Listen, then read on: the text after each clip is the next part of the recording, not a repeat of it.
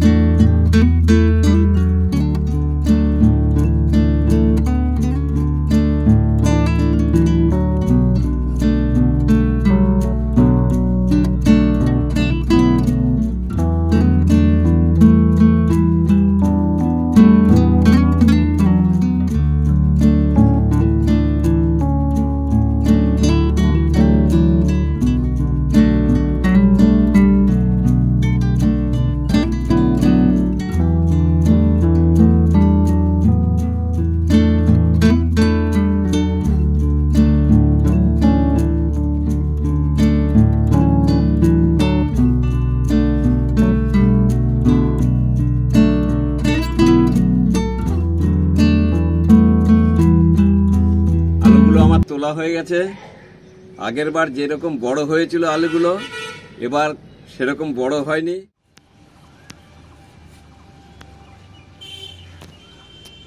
তবুও মোটামুটি আলু খারাপ হয়নি। মোটামুটি টবের হিসাবে যা হয়েছে, অনেক ভালোই হয়েছে।